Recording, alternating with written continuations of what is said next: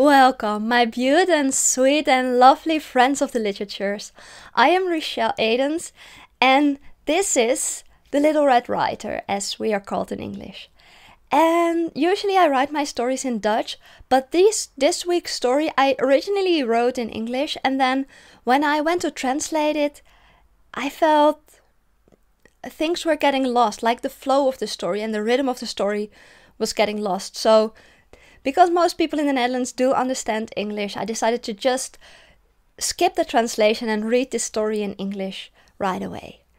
Um, and the story is about two girlfriends, two lesbian girlfriends, who are going to the thrift store together in search of a new couch. And while they are going to the thrift store, um, one of them mentions uh, casually that her plans for having a family and that she doesn't want to carry the child in her own womb and that she instead is is planning on building a crib with her father to to create this little um, safe space for their little baby to be in and her girlfriend gets a little bit upset by this because she even though she wants to uh, start a family and she wants to carry the child she she gets upset that she wasn't included in the decision making process.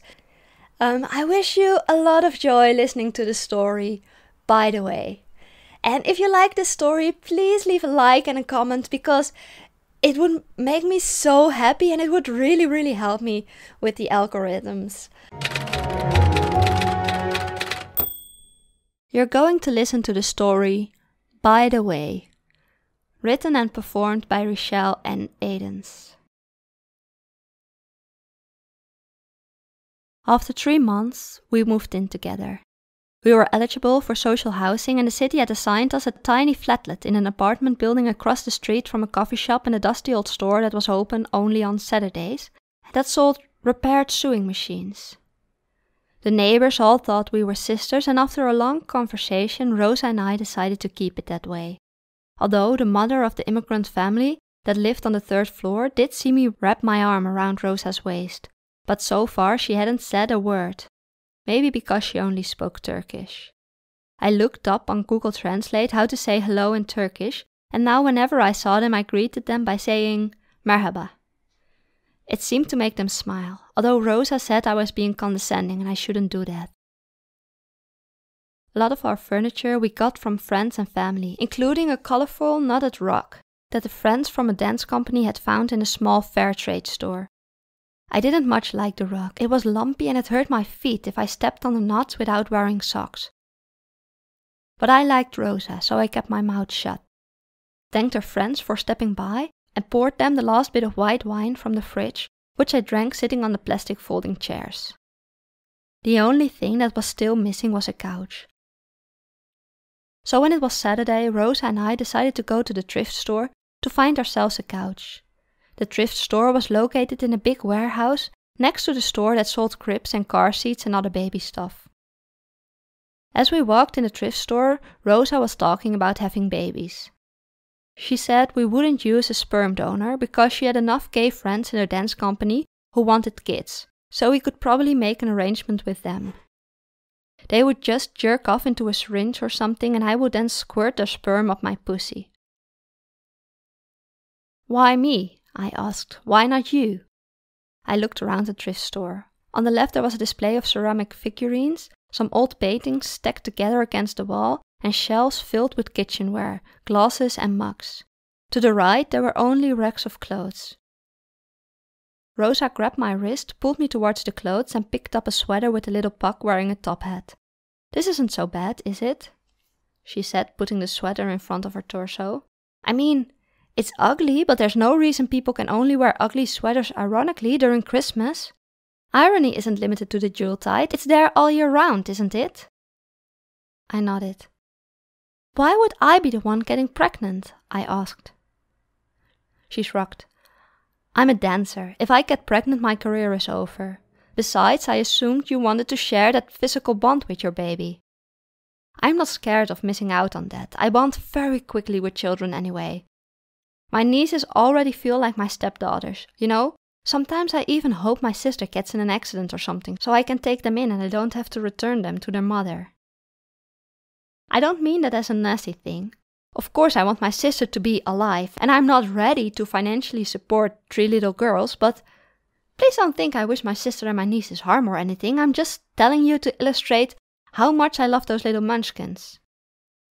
Besides, my father has already promised me to help me build the crib from scratch, so that way I'm also providing some safe surroundings for my child to sleep in. Wow, I said. There was a lot to unpack there, a lot to discuss, and the middle of the thrift store didn't seem like the right place to have that conversation. Look at this, Rosa said. She pulled out a purple cotton dress that was way too big for her. She was pinching in the waist to make it a better fit. It could work, she said. Wow, I said again, shaking my head. I know, right? she said. My father is really supportive. My mother took a bit longer to come around, but my father was immediately on board, asking me what I need and how he could help, and then we made that pact about building that crib together. By now, my mom is making quilts for my nieces, so I'm guessing she'll make one for our little baby bean too. I ran my finger over some silk blouses.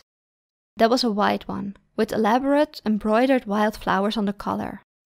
I tried to imagine what kind of person would actually wear this in a non ironic way in their day to day life. The furniture and the couches are upstairs, Rosa said, gesturing to a spiral staircase in the back. But if you want to stroll around downstairs some more, that's fine by me. You can find some funny things here, and if you're in luck, something pretty too. Don't you think you should have discussed it with me first?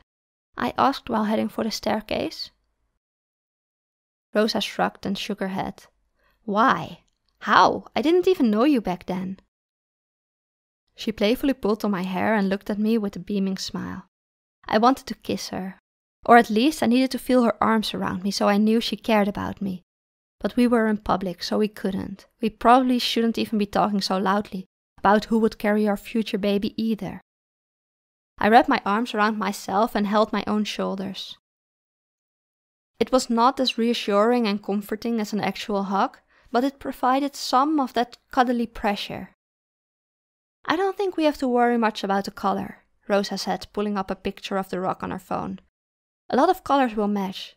Besides, I don't mind a bit of an eclectic interior. However, I think it would be practical to get a futon or at least a three seater sofa you know, so friends can crash on our couch. Yeah, fine, I said, nodding. But what if I don't want to get pregnant? You don't? Rosa said, lifting her eyebrow a bit. You said you wanted kids. I do, I said, I do, but I. I sighed. I didn't quite know how to verbalize what I was feeling inside. Eventually, a few years from now, I wanted to get pregnant and I wanted to have children. But I wanted to walk that road together, to go over the options and to discover and discuss the route we would take together. There was a store cleric coming towards us. He asked what we were looking for and if he could help us. He looked from me to Rosa and back, as if he tried to figure out how we related to each other. We're roommates, I said a bit grubby, and we don't need help, we're just looking. For a couch, Rosa said. Couches are over there, the store cleric said, pointing to the obvious section. Thanks, sweetie, Rosa said. She started walking towards the sofas, and I had no option but to follow her. Don't be rude, she said to me when we were out of hearing distance. They hire the special kids here. Didn't you see his badge? What badge? I said. Why are you so grumpy all of a sudden? Rosa asked. What's wrong with you? She looked around and then she grabbed my hand and briefly placed a kiss on my fingers. You know I love you, she said. I know, I said. Her touch had already made me milder. I know, it's just. I feel like you just told me we were going on a road trip, but you've already decided the destination and the route we were going to take. Like, you telling me that we're going to Montreal without asking me if I want to go to Florida. What's in Florida? Rosa asked. Besides bugs and tornadoes and that vlogging family you follow on YouTube.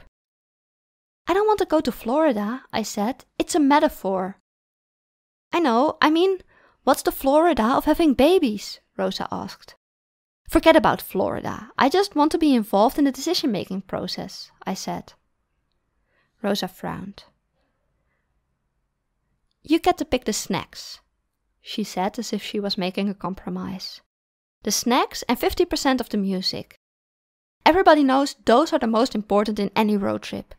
You know, it's not about the destination or the route, it's about having fun along the way, singing at the top of your lungs and eating crisps for breakfast, lunch, and dinner.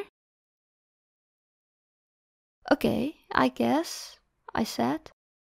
But what are the snacks and the music of getting pregnant? I see three sofas I like, Rosa said. She pointed to three different couches. Let's give them all a try. She walked towards the first one and plumped down into the pillows. She wriggled a little butt back and forth in between the cushions, and I could already see ourselves snuggling up together, watching TV. Maybe share an elongated kiss during the credits. She would gently stroke my hair and hold me by the nape of my neck. I picked up a little hair from one of the pillows. It looks like the previous owners had cats, I said. That wouldn't work for your allergies, right? Maybe we could clean it up with a carpet beater or something. We don't have a carpet beater. We should get one, she said. I shook my head. Fine, we'll check out the other two, Rosa said. What are the snacks and music of getting pregnant? I asked her again. She slouched down on the second couch and dangled with her foot over the armrest. The shop cleric looked at us for a moment, and I feared he was coming our way to tell us that laying on the couches wasn't allowed. He didn't, though. With the cap of his pen in between his teeth, he wrote something on the label of a coffee table. Maybe that it was indeed a coffee table. I don't know, Rosa said, still all sprawled out over the couch. Her hair was fanned around her face and she was looking at me with twinkling eyes. Maybe shopping for baby clothes, or picking the wallpaper, or, or picking the music box for next to the bed. And the snacks are obvious, right? That's the pickles with ice cream and bacon and sushi or whatever weird craving you're going to have. What do you think about this couch? She pushed herself up into a sitting position and then she patted on the couch next to her. I briefly sat down and scrunched up my nose. No, I said. Why not? It's too. There's too much spare pillows, and white is impossible to keep clean. Look, look, there's already a stain there. Who knows where that's from, and it's too deep and too soft. How can a sofa be too soft? Rosa asked, tilting her head a little bit. I got a backache, I said, and you'll get a backache too. As a professional dancer, you can't afford a backache from sitting on too soft a sofa, can you? Fine, Rosa said. We'll check out the last one, but that better be it. She walked all around the sofa. No stains, she said, no cats. She pressed her fingers into the seat, and decently firm. Okay, forget about a road trip metaphor, I said. Done. Rosa put her thumb in the air and gave me a very charming smile.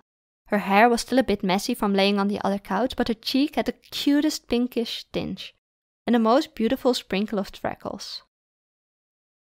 On stage, she hid those freckles behind a layer of makeup, but not with me. I was allowed to see those freckles. I just. I want to be involved in the decision making process, I said. We're talking about it now, aren't we? Rosa said. It's not that we're going to have children tomorrow, there's plenty of time to figure that stuff out. Come, try out this couch. There's a decision you're involved in, picking out a new sofa for our new apartment. She sat down and bounced up and down a few times. Perfect, she said. I think we found a one. I shook my head. You haven't even tried it. Come, sit with me. She tugged on the bottom of my shirt and tried to pull me closer. No, no, I said. There was nothing objectively wrong with the couch, but I still didn't want to try it. Why not? Rosa asked. What's wrong with this one? I tried to find something wrong with it a loose seam, another stain. I even put my nose up against the pillow, but the previous owners didn't smoke. Or if they did, they'd adequately removed the smell from the fabric. Rosa got out her phone again and looked from the picture of the rock to the couch and back. Yes, that will work, don't you think? Let's call the guy. She put her hand up in the air, but the shop clerk didn't see her. What should I call him? she asked. I can't just yell, Hey you, can I? Don't call him at all, I said. We haven't decided yet. We haven't? she asked. Maybe I don't want the couch, I said. You don't? Rosa squinted while she looked at me. There were little wrinkles next to her eyes. You just assumed I wanted to have a couch, but we never discussed the other options. What other options? Rosa asked. Do you mean beanbags or something? I didn't want to be there any longer, and I walked back towards the spiral staircase. Hey! Rosa yelled at me. The store clerk looked at her too. Apparently, just hey would have worked. Where are you going? she asked. I'm going to buy a Twix at the rest stop next to the gas station, I said. What do you mean? Rosa asked. For real or within the metaphor?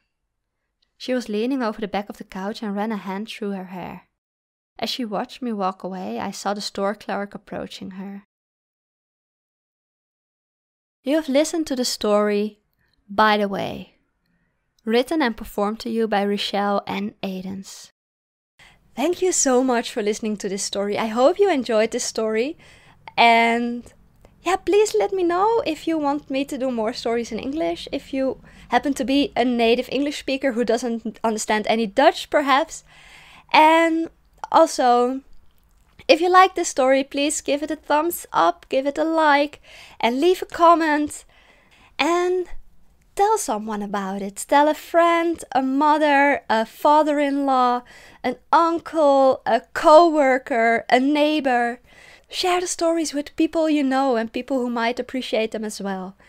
Um, don't forget to subscribe because we'd love to have you again next week.